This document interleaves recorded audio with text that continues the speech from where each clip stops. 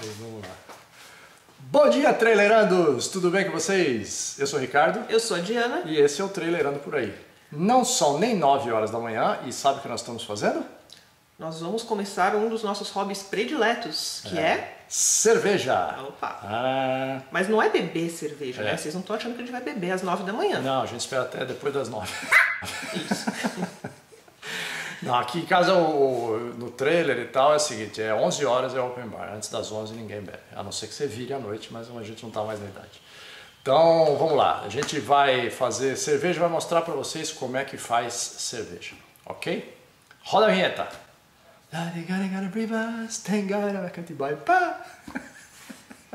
Volta. Vem com a gente.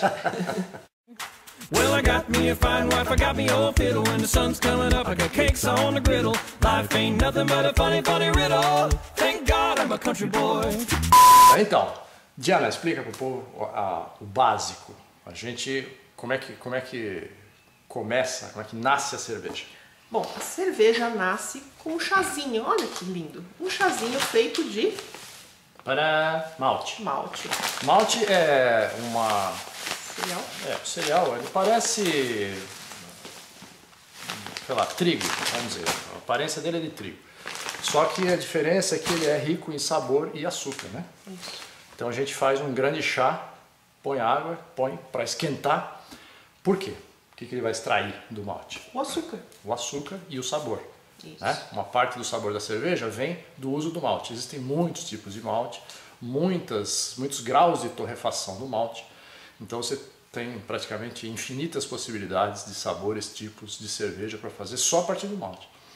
Então, extraído este suco, a gente coa, fica só com o líquido, bem, eh, vamos dizer, aromatizado, doce, doce. e já com a cor, porque dependendo do grau de torrefação do tipo de malte, você tem também a cor da, que vai dar na cerveja.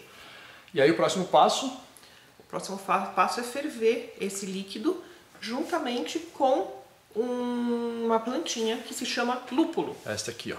Essa florzinha linda. Depois vou mostrar o pé para vocês. Nós plantamos em casa, a gente fez uma experiência esse ano. É, a inflorescência é uma trepadeirazinha e a florzinha dela é o lúpulo. O lúpulo vai dar o amargor e também parte do sabor da cerveja.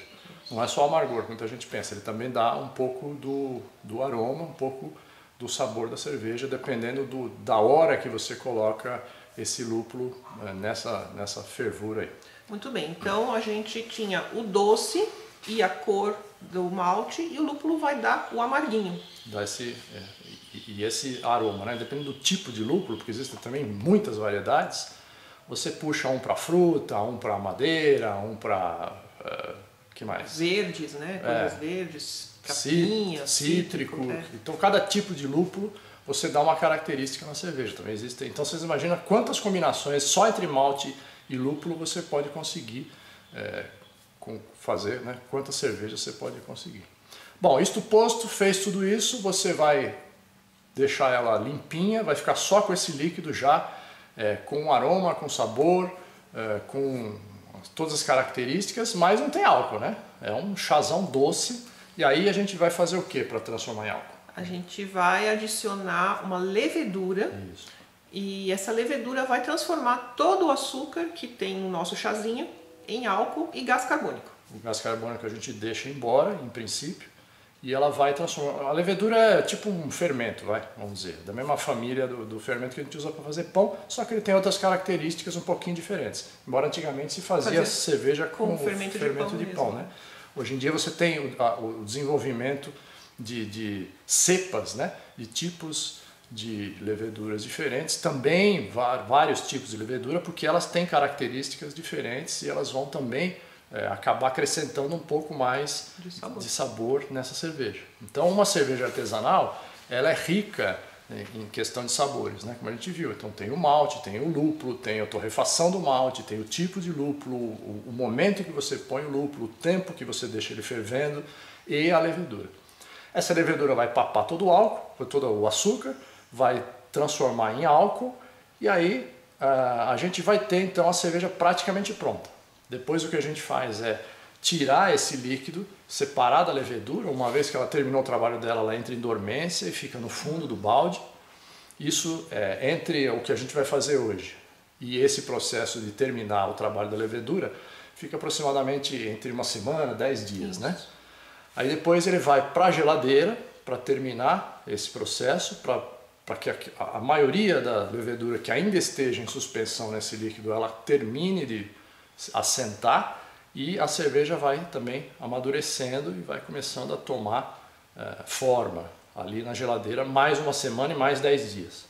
Né? Então é um processo que leva aí por volta de 30 dias, porque você ainda depois disso vai fazer o quê? Engarrafar. Engarrafar.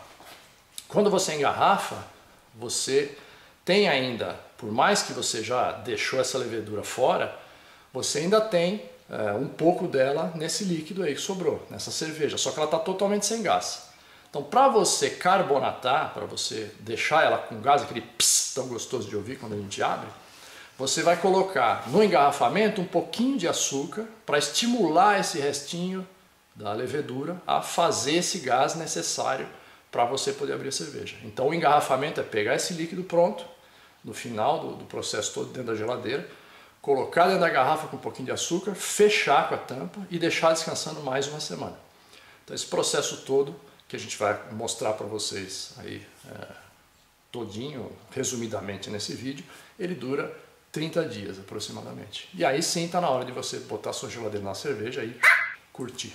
O quê? A cerveja na geladeira e curtir. Ah, tá. Depois das 11, viu gente? Então vamos ver como é que funciona. Todo o processo que a gente comentou com você de fervura, de extração do açúcar, ele pode ser feito numa panela comum com fogareiro embaixo, que é como a gente fazia antigamente.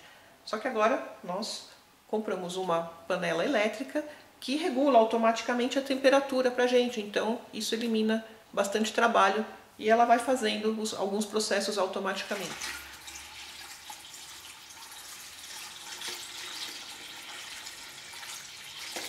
Detalhando um pouco, é, agora a gente falou grosso modo, vocês viram, a gente colocou água. Ah, qual água? Qual que é água?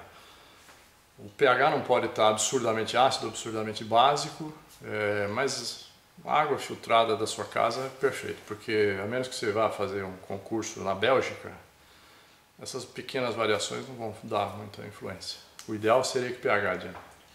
É 5.4, 5.5. É. Então é mais ou menos a água que você tá, vai tirar da sua, da sua casa. Existem regiões do Brasil que são águas muito alcalinas, né, muito duras, muito ácidas, então é bom aí você regulariza um pouco.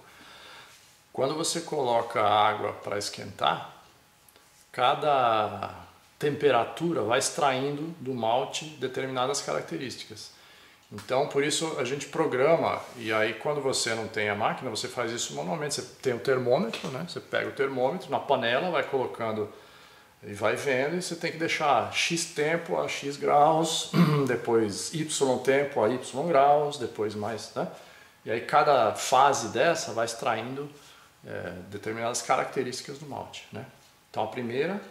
Então, é, na verdade são enzimas que trabalham, tá? É, existe uma enzima que se chama beta-amilase, que é que extrai o açúcar do malte. Então ela trabalha na faixa de uns 60, até 65 graus, tá? Entre 60 e 65. Então a primeira fase é deixar 30 minutos é. a 65 graus. Então você programa, ou se você não programar, você escreve no papel, vai deixando o relógio, vai vendo a temperatura, desliga o fogo, acende o fogo, desliga o fogo, acende o fogo. Essa é a vantagem da máquina, ela faz essa manutenção sozinha.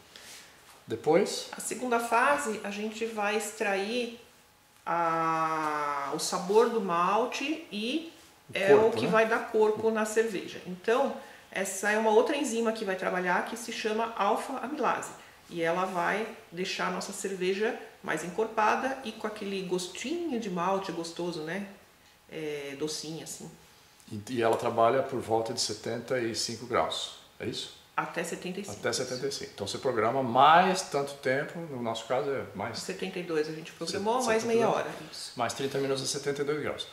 Isto foi feito, aí vai para fervura. Não, calma, não, tem mais uma temperatura. Mais uma temperatura. A última temperatura a gente aumenta até uns 78, 79, não pode passar de 80, tá? É, para inativar todas ah, tá, as enzimas. Então, por 10 minutos a gente deixa nessa temperatura para que as enzimas parem de trabalhar. Isso, matou as enzimas, fez o primeiro assassinato Isso. Aí vai para fervura Aí e aí vai você pra vai acrescentar lúpulo e tal. Então é isso que nós fizemos agora. Colocamos a água, como vocês viram, e aí ele vai fazer, vai chegar na temperatura correta para a gente adicionar o malte. É muito bem. Agora a nossa maquininha pitou aqui, ela chegou na temperatura que nós programamos e vamos colocar aqui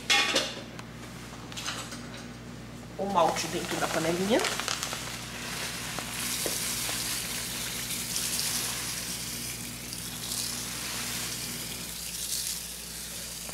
Tem que ir jogando devagar para ele não empelotar. Depois a gente dá uma mexidinha. Bom, então o que aconteceu foi que nós, terminado o, o tempo do chazão, a gente coa, né? Esse balde aqui ele tem, ele é furado, ele tem uma peneira de aço inox no fundo. O malte já tá, foi extraído todo o açúcar. Tá aqui. Então agora é hora de jogar o lúpulo. 15? 15 gramas.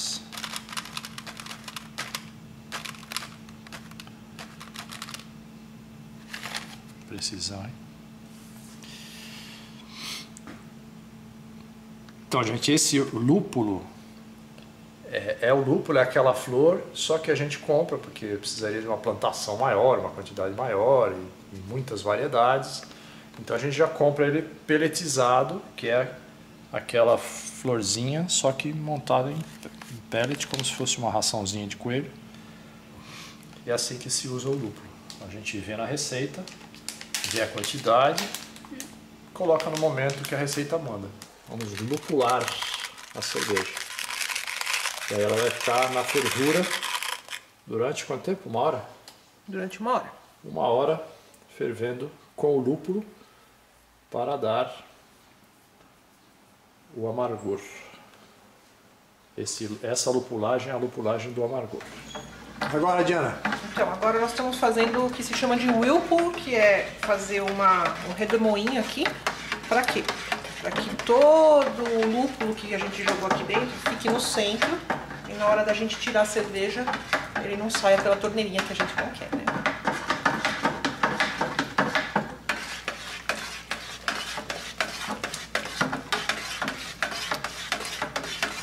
Tá bom, né, mano?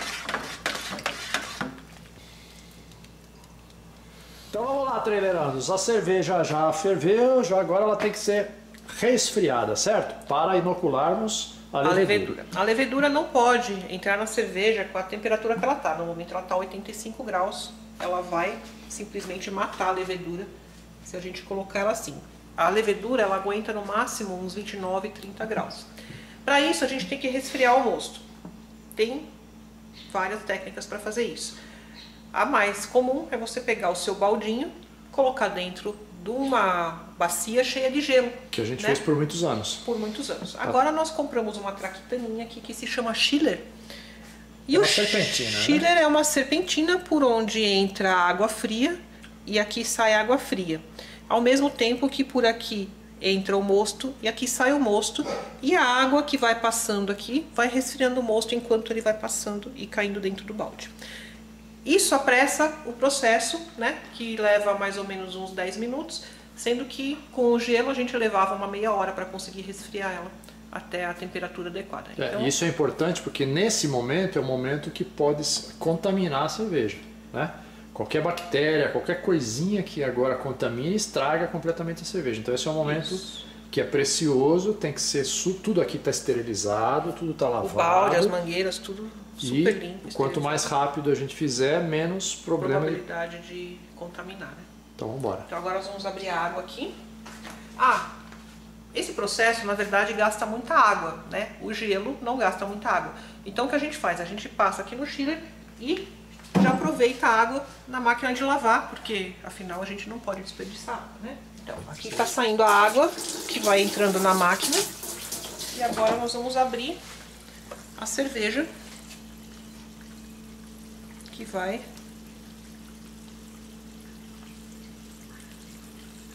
começar a sair aqui e cair no balde. Já sendo resfriada. Então terminou esse processo, a gente vai conferir a temperatura com o termômetro para ver se pode já inocular a levedura. E aí é simplesmente jogar a levedura e colocar ela para fermentar e deixar ela descansando. Essa fica uma semana? Uma semana. Uma semana descansando. Muito bem, terminado então, tiramos aqui, ó, vê aqui no fundo se dá para enxergar o resto lá que sobrou, né, de todo o lúpulo lá no fundo da panela. Passou tudo pelo chiller e agora estamos medindo para ver se Está com 28, 27, 27, 28. O limite para 30 graus é o limite. 30 graus. Então, já podemos inocular. Vamos preparar a levedura e jogar ali. Olha no fundo, ó. Então o que sobrou aí é o lúpulo. Então essa parte a gente não quer. Então na hora de trasfegar, a gente não deixa isso aí. Ela vai, passa pelo chiller, sai, da, sai por essa torneirinha, passa para resfriar e vem pro balde e aí ela já chega aqui quase limpa. Né? Nessa hora é importante deixar fazer essa espuminha. Significa que ela está aerando, tá? Porque a- o fermento precisa De oxigênio. do oxigênio para poder começar a trabalhar. Então a gente deixa realmente fazer essa aeração para poder o fermento começar a trabalhar rapidinho. Então, aqui tá a levedura, Mostra o outro lado. Ah, igual. é igual. É um pozinho, como aquela de pão, igualzinha, né? Mas a gente vai agora jogar ela por cima do nosso mosto.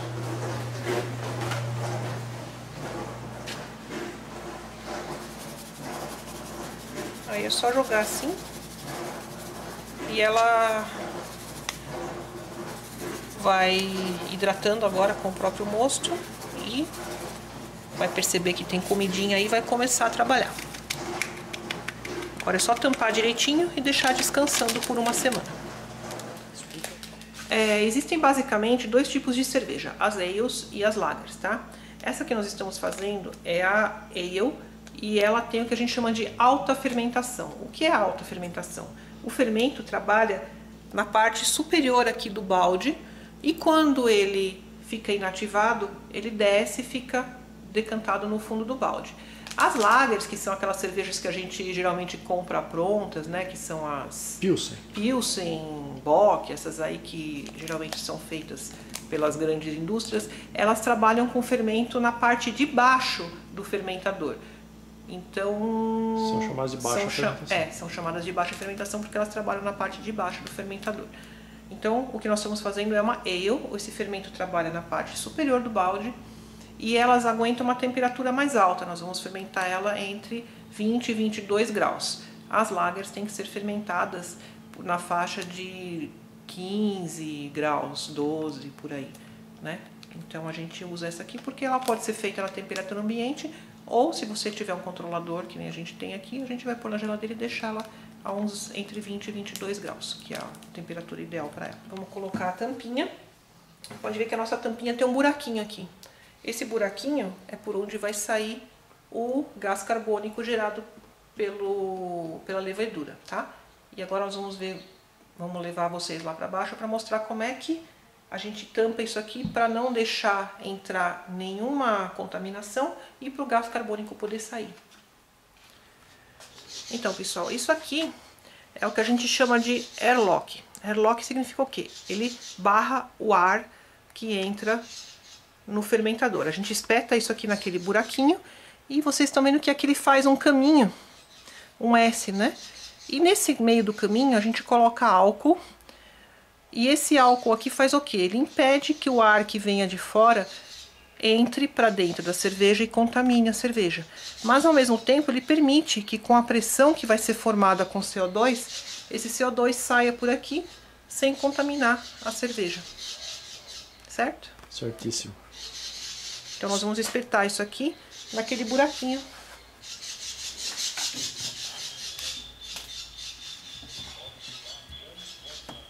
Termostato, né?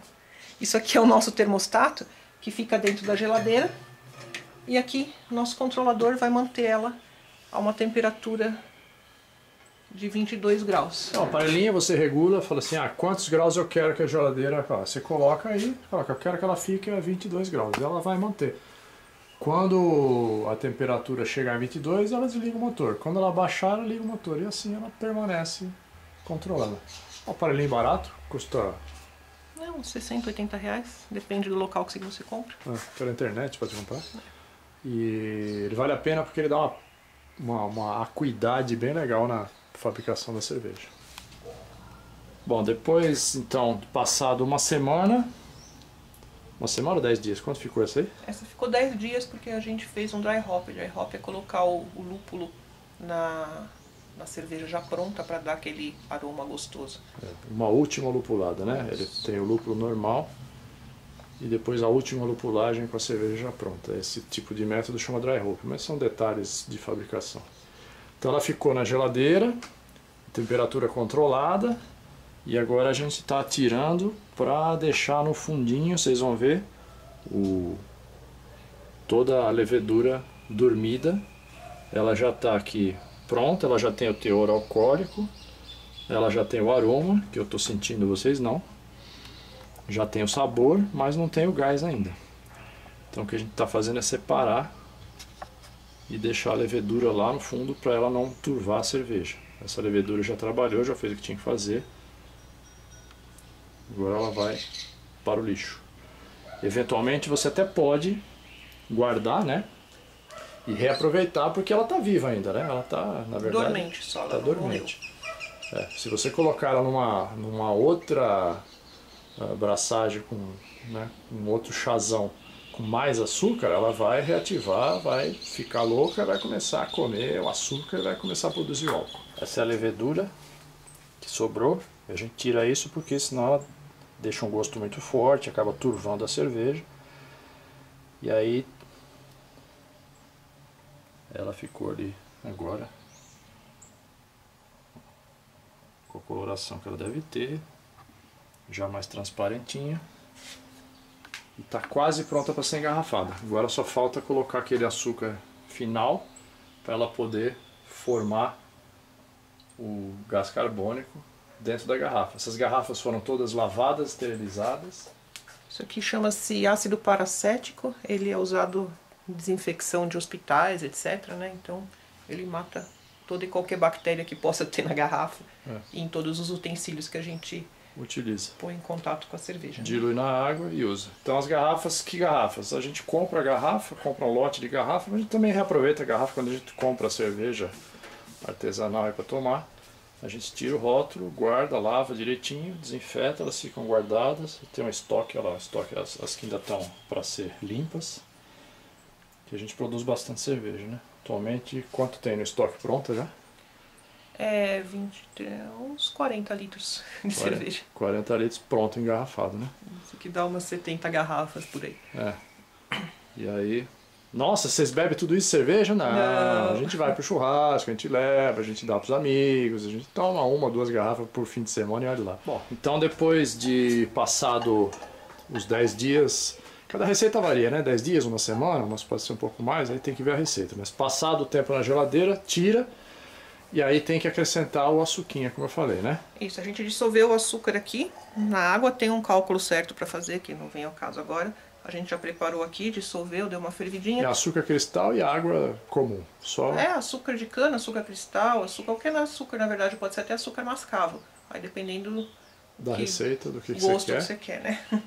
Então, a gente vai jogar isso aqui dentro agora e em toda a cerveja para depois engarrafar. A outra opção, você comprar já pronto, tem uns sachêzinhos que você coloca diretamente na garrafa e aí você não precisa jogar lá no balde. Você põe na garrafa e já joga a cerveja aqui que ele já dissolve e já prepara.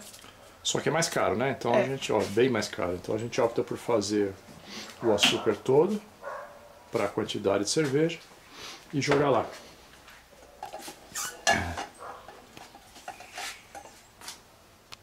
Agora é fácil, é só jogar, mexer bem.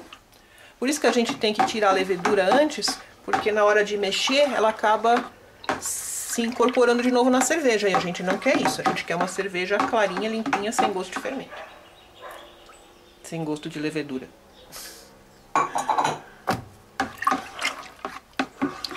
Agora a coisa é muito simples. A gente pega a garrafinha que já foi esterilizada e simplesmente Enche. enche. Olha que lindo.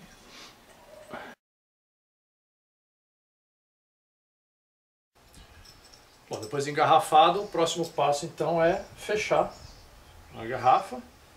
Por isso a gente compra as tampinhas. Tem dois tipos de tampinha. Tem aquela que usa para, como chama? Long neck, que é de rosca. E essa é a tampinha normal que você usa o abridor. Então você simplesmente coloca a tampinha, leva aqui no arrolhador aqui, prensa e tá pronto. E assim vamos.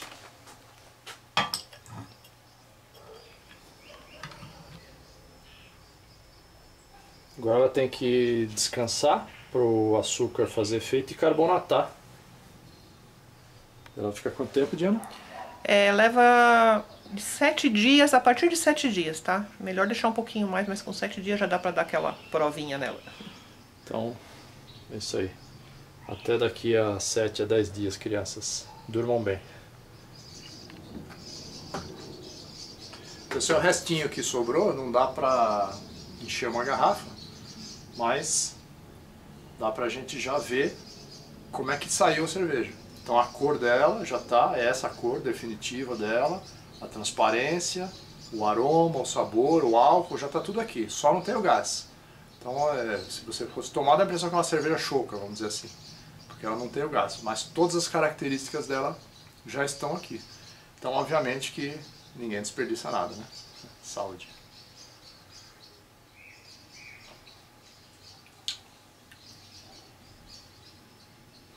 Boa pra caramba.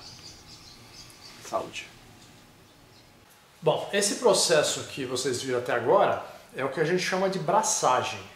Desde a hora que a gente coloca o malte para ferver, para esquentar, para ir soltando as propriedades, até a hora que você inocula uh, a levedura para começar a fermentar a cerveja. Então essa braçagem, normalmente, ela dura por volta de 6 horas se você não tem essa panela inteligente aqui que a gente tem. Né? Uh, se, isso você tem que ficar o tempo todo controlando a temperatura, vendo, baixando fogo, levantando fogo, ela te deixa por volta de 6 horas de trabalho. Com essa panela aqui, a gente economiza umas duas horas. Então agora é exatamente uma hora da tarde, a gente começou um pouquinho antes de 9, né? Eram umas 15 para as 9, 10 para as 9. Então deu 4 horas certinho, é, 4 horas e 10.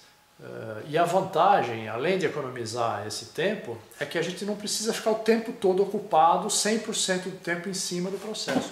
Coisa que quando você faz manualmente com uma panela, dá para fazer tranquilo, mas você tem que ficar 100% do tempo dessas 6 horas em função dessa fabricação de cerveja. Né? Esses é são os métodos clássicos. Agora, se você quiser economizar tanto às 4 horas como às 6 horas, eu vou contar um segredo para vocês. Espera aí. Muito bem.